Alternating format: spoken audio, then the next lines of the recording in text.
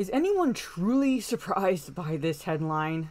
The fact that Western critics, predominantly white people, I might add, are upset that the game Ghost of Tsushima is getting rave reviews from Japanese audiences. The audience that these Western critics, predominantly white people, are upset that they aren't getting the same level of anger from. Am I missing something here?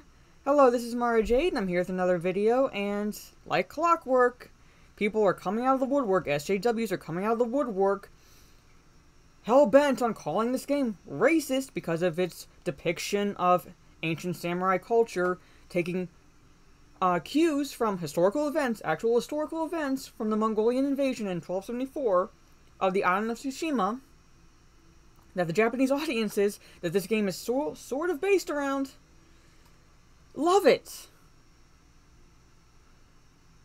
Like I said, am I missing something? But anyway, let's go into this article that I found on Bounding into Comics and let's see what these fucking morons are saying about this whole situation. Some of them are doozies.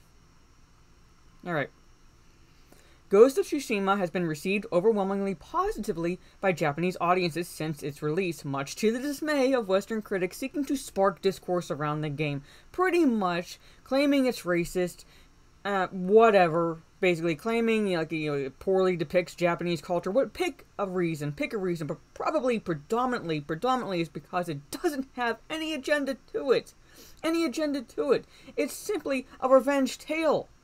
And there's nothing wrong with a simple story as long as the story itself is engaging, as long as the characters are engaging, as long as the gameplay is good, as long as the visuals are good, that's all that matters. And it doesn't push any agenda. Like I said, the tale is simple. You play as a samurai who is bent on revenge against the Mongolian invaders. I'm not going to go too deeply into the plot of the game, but that's the gist, pretty much. That's the gist. Simple, but it's fun. And these people are upset about the fact Japanese audiences aren't getting as upset as they are. If I were Japanese, I actually would be offended at that. But let's go into this, shall we? Alright. On July 15th, Kotaku published an article discussing how Ghost of Tsushima is being praised by Japanese critics, compiling rave reviews received by the game from notable Japanese review sites, which detailed how the critical consensus is that Ghost of Tsushima does an admirable job of bringing 13th century Japan to life. That's it. That's that's the goal, pretty much. Bring it to life. It doesn't have to be entirely necessarily historically accurate, but at the same time, be historically accurate enough with the simple revenge tale, and boom, you have a good game. Good visuals, good characters, good story, what's to complain about? Here's what's to complain about. First one, taking place in 1274, Ghost of Tsushima follows samurai Jin Sakai as he defends the titular Tsushima island from the invading Mongol forces led by Kublai Khan. Actual historical events. Actual historical events. Alright? The Japanese eventually repelled the Mongols, handing the invaders one of their most decisive military defeats, leading to a resurgence in Japanese power and presence on the world stage. Historical events, pretty much. Alright, in modern times, the successful repulsion of the Mongols is heralded as a point of Japanese natural, nationalistic pride, garnering high praise from leading outlets such as Akiba, Suken, Denge Dengeki Online, sorry if I'm butchering any names, and Engadget Japan, Ghost of Tsushima's highest accolade has been its awarding of a rare 40 out of 40 score from Weekly, Weekly Famitsu. I mean, I don't know. Last of Us Part 2 got perfect scores. So why is it upsetting that this game got a perfect score? Sucker Punch's samurai-themed historical action game is the only, the third Western game to receive a perfect score from Japan's most popular video game news source, following the Elder Scrolls V, Skyrim, and Grand Theft Auto 5. Again, it got a perfect score.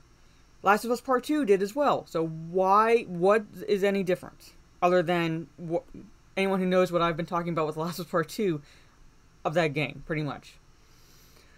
However, Japan's enjoyment of a Western made title based on their history did not sit right with Western critics who feared that Japanese acceptance of the title would render any criticism based on a critical social justice theory baseless. So basically, the Japanese are saying, fuck your SJW politics, this is a good game, we love it.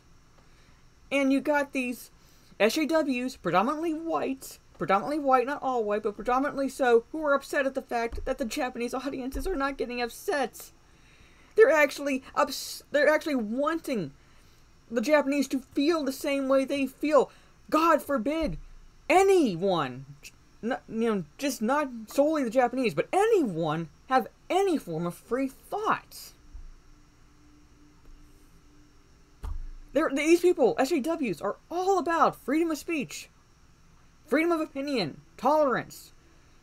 But you step outside that little bubble of accepted free um, thoughts, and you are guilty.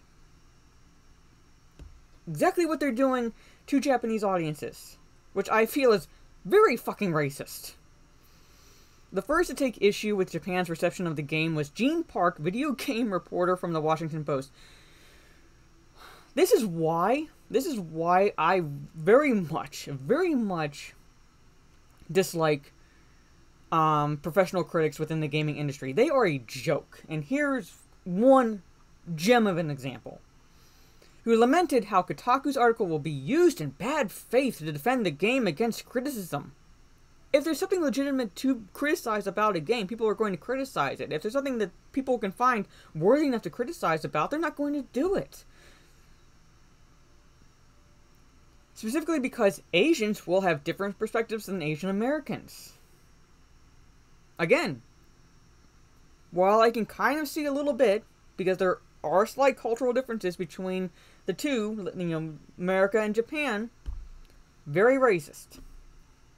Very, very racist. So here's his tweet. There's going to be more critical discourse around Ghost of Tsushima, and this link will be used in bad faith to defend the game against criticism. No, no, it's just saying, like, people, people in Japan are loving it. People, in the Japanese audiences are loving it. This is a game centered around an historical event in Japanese history. You'd think, you'd think they'd be the ones that you would want to at least um, gear the game towards to make sure that they're the ones not getting upset. And they're not. But that's a bad thing. I I I I, I have no idea. I I can't speak right now. The, the the fucking stupidity is just off the charts with this one. Asians will have different perspectives than Asian Americans. It's not complicated. Again, kind of you know balkanizing them, and so forth. Asian Americans have the right idea who are complaining about this game, while Asians not complaining about it, they're in the wrong. Oh, Lord. Park's sentiment was soon echoed by like minded players, many of whom were white or Asian American who similarly feared that the lack of Japanese outrage towards the game would invalidate their Western centric critical race theory based criticism. Basically, their Western centric bullshit, pseudo psychological dumbfuckery. Is basically what it is. Pretty much what it is. And here's this one's tweet. Literally anyone who criticizes this game is now going to have to deal with people pointing to this like Japanese nationals' opinions on this bullshit invalidates their own. I'm so furious. It doesn't necessarily invalidate your own, albeit your own your opinion is stupid, I might add, in my my opinion. It does not invalidate it, but you getting upset at the fact that they have an opposing opinion is what's making you look like a dumb fucking idiot. So many people have been dying for games to be taken more seriously, and the second that happens, they realize what all that entails. I'm so tired. What the fuck does that even mean? I love how they try to sound intellectual and they come off sounding more like the dumbasses they are. They have no idea what they're talking about. They just regurgitate the facts that they were indoctrinated with in college nowadays, and you don't sound smart. You don't sound smart. At all. Here's one. I'm so exhausted because Japanese nerdum media has had a problem with glorifying Japanese nationalism for like basically forever, and it's not like it's a secret that Japanese fascists exist. Oh, they're Japanese fascists now. I'd like to add that those in Japan have a stake in this. This is a story they want told. Non Japanese Asian and Asian Americans who suffered at the hands of Japanese imperialism will feel very differently, which to an extent is true. Anyone, uh, I would recommend if you are at all interested in World War II history, particularly in the uh, Pacific Theater, and I'm not going into politics or anything like that, but prisoners of the Japanese will give you an idea of where this person is coming from.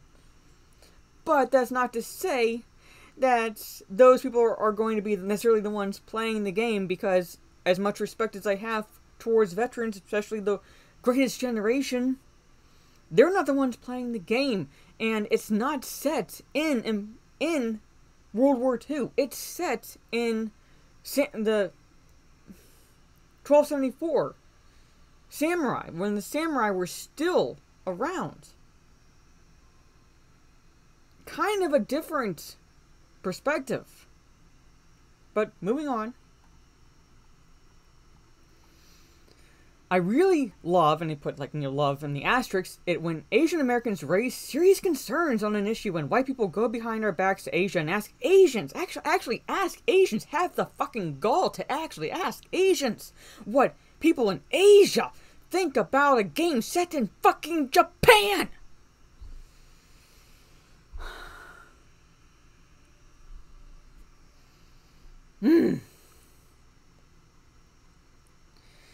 This sentiment quickly received mass amounts of pushback from the wider gaming community as players noted that not only was the game based on real historical events, no fucking shit, but that it, these complaints were based in bad faith desires for controversy. Basically, they want the agenda, they want the controversy, they want to have their little brownie points in the game so that way they could say, oh, that's exactly what I agree with. And panders to whatever pseudo psychological, pseudo intellectual theory they like to espouse. Like here, hang on, are you actually angry Japanese people aren't mad? And here, this one. How dare the Japanese not be offended by a game that treats their culture with respect just because it was made by Western developers? Ah, yes, great and oh so smart American man. Please tell the people of Japan how they should feel. And this one also corrects them on their history, saying it's not a fantasy where the Mongols succeeded. They actually landed in Tsushima and killed thousands. You're thinking of mainland Japan, which is thousands of miles off. Do research before calling it a Japanese nationalist fantasy. He basically corrects them. Ghost of Tsushima is now available exclusively for the PlayStation 4, which incidentally I'm in the process of downloading as we speak. So there it is, folks. There it is, like clockwork, like clockwork, like co cockroaches they are. They're coming out of the woodwork, predictably upset that their criticisms are being invalidated because the the audience that you would want to make happy, because this game is centered in ancient Uh, around surround centered on ancient Japanese culture are giving it rave reviews. Go figure. But at any rate, let me know down in the comments below. Have you gotten the game? Are you planning on getting it? If you haven't gotten it, let me know. Do you like it? Do you not like it? Valid criticisms, if you have them, let me know down in the those down in the comments. I don't know if Drunk 3PO will be having his Monday stream tonight. If he does have it, I can only be on for about an hour or so because I have to get up super early tomorrow morning, so I won't be able to stay up late.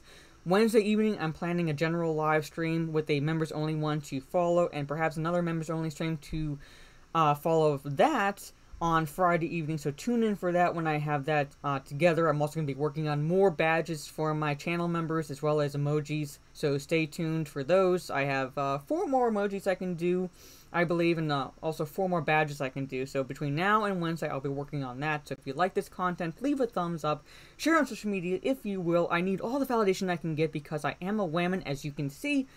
And so tune in for my next video and or live stream.